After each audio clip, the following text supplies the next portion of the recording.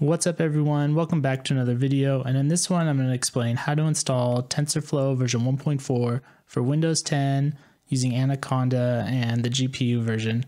So the reason why I'm redoing this is while the last video for the most part it was pretty successful, there were some things I didn't explain correctly which led to a lot of questions that people had. So I want to go back, explain it correctly so that it's a nice, clear and crisp um, install process. So let's get started.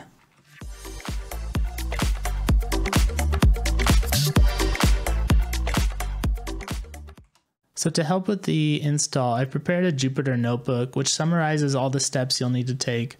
You can always refer to the TensorFlow website, but this notebook will serve as a more concise instruction manual. So there'll be a link in the description where you can download from my GitHub.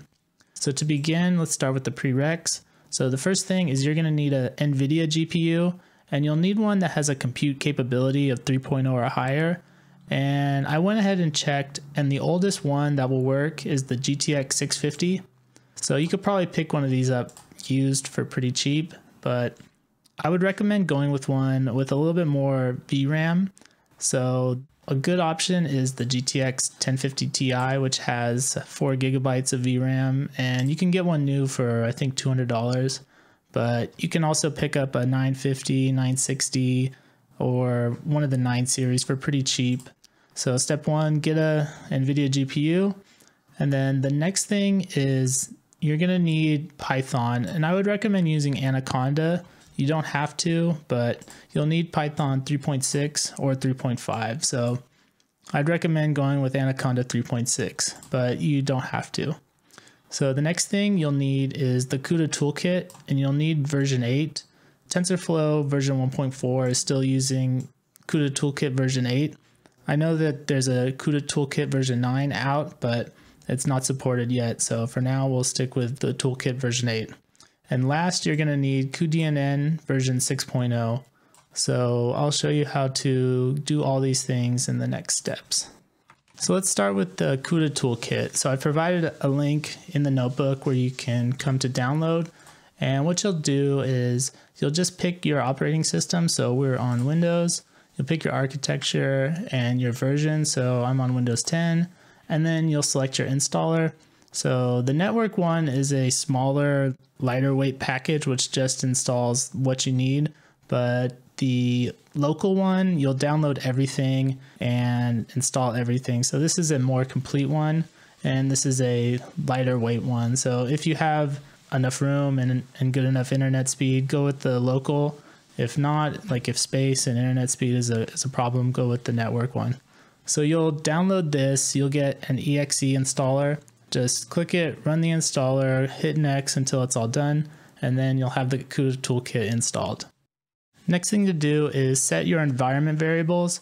So the way you can do this is if you just pull up a file explorer window, go to your PC, right click, go to properties, and then you can go to advanced system properties and you'll see this window where it'll say environment variables. Just click that and then you'll want to come to your system environment variables and then you'll come down to path. So click edit and then you'll see this here. So the way you can add your variables is just click edit. Oops, um, let's, let's go to new. So then you'll just type in the paths here. So if I go back here, you're gonna need these three paths. So your toolkit should install in program files and then a folder called NVIDIA GPU Computing Toolkit, CUDA, oops, CUDA version 8 bin. So you'll need this bin one, you'll need this libnvvp, and then also this extras one. I'm pretty sure you'll need all three of these. So just add these to your environments variable. So like I said, just click new, copy paste those in and add all three. So you'll do a new one for each path. Cool. So once that's all done, all your paths will be set. And then the next thing you'll need to do is download cuDNN version 6.0. So if you can follow this link to the install page and oops, what you'll do is in order to install and download, you'll need to have a, um, a user profile. So if you don't have one, just you know give it a, a username and password and create an account. Once you've done that and you agree to the terms, just come down to the download cuDNN version 6 for CUDA 8.0. Make sure it's for CUDA 8.0 because there's one for CUDA 7.5. Just open that and then click on the cuDNN version 6 library for Windows 10. And if you've got 8 or 7, you know, click on that to install. And then what it'll do is download this zip file. And once that zip file has downloaded, just extract the contents. There'll be some folder called CUDA, and then there'll be three folders in that. And then what you'll do is just place that somewhere. And what I mean by place it somewhere is just pick a folder and put it there. So what I did was, so if I just open this, you can see the folder contents is just CUDA. And then there's these three folders here. So what I did was I just took this CUDA folder and put it on my C drive. So if I go to my C drive, you can see I have this folder here, CUDA. And then what you'll do is you just need to provide the path to the bin folder. So I have it on C CUDA bin. So again, what you'll do is come to your your properties so that way you can get to your environment variables. Come to path and you'll need to add one for the bin folder. So you can see here I have one for C CUDA bin. Yeah, download it, extract the contents, put that CUDA folder somewhere, and wherever you put it, add a link or add a path to your path variable for the bin folder. So you can either do, you know, C, you could do program files, my documents, doesn't really matter, just as long as you have the path to the bin folder.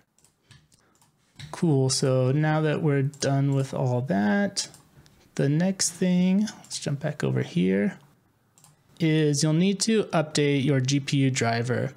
So what you can do is just follow this link to your um, NVIDIA download page. Just select your um, the graphics card that you have, and once you have it, you'll just search. You'll download the driver. It'll be an exe file just click on it and then work your way through the download. Just, you know, click next a bunch of times and then you'll be good. So now that your graphics card driver is up to date, the next thing is to install Anaconda. So this is optional if you already have Python installed version 3.6 or 3.5, then you don't have to do this. But if you don't, then I, like I said, I'd recommend using Anaconda. So you can just come to their download page and I would say, you know, go with version 3.6. And one thing to make sure is that you get the 64 bit version. I'm pretty certain that TensorFlow requires 64 bit version. So if you don't have it, just download. Um, again, it's an installer, so just work your way through the installer. One thing to make note of is while you're installing, there's an option to add Python to your path. So I'd recommend clicking that checkbox so that when you, like for example, if you open up a CMD window and you type Python, it's going to spawn your your Anaconda Python interpreter. So if you already have like Python installed and then you install Anaconda on top of that, you might have a conflict on which interpreter is spawned when you click Python in your command window. You know, it's all about preference, which one you want to use, but I have it set up that way, so I would recommend you setting it up that way also. So once you've got Anaconda installed and your graphics card installed, driver updated, CUDA toolkit installed, and cuDNN installed with all your paths, then you're ready to do the pip install. So the next thing you would do is just open a command window and you'll type this pip install command. So once you do this, you know, it'll download the TensorFlow package just like any other package, and then you'll be good to go. So one thing to note, there is a slight discrepancy in the way TensorFlow um, documentation recommends.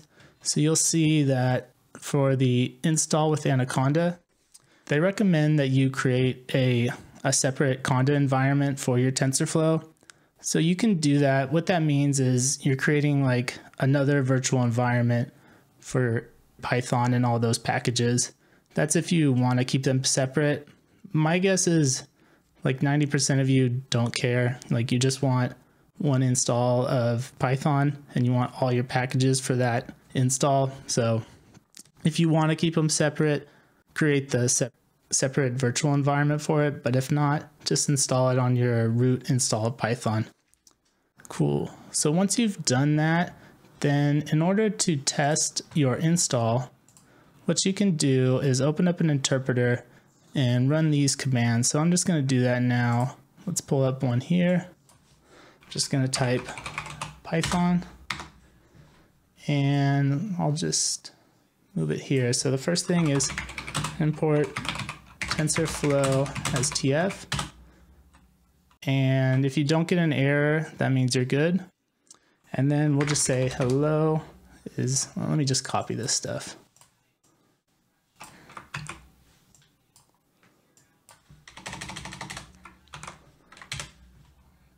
So we've got that. We'll copy our session.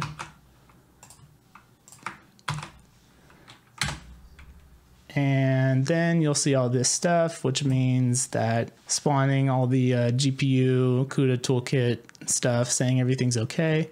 And then finally, we can, you'll print this um, dot run, and then you're gonna run hello, and you should get hello TensorFlow. Cool. So if you don't get any error statements and it runs just like it says, then you're good to go. So hopefully these instructions help. One discrepancy from my previous video is I advised you to, or I said you needed to install Visual Studios because when I look at the documentation for the CUDA toolkit, they say to install Visual Studios. But when I look deeper into it, you just need Visual Studios to, for example, run the example code that's provided with CUDA Toolkit, it's actually not required for TensorFlow. So you can skip that step. No need to install Visual Studios. So like I said, I hope this is helpful. Feel free to download and use the um, notebook that I provided on my GitHub. If you have any questions, just leave them below, or um, you can also use the Facebook group. So yeah, hope you guys like this video, and I'll see you guys in the next ones. Peace.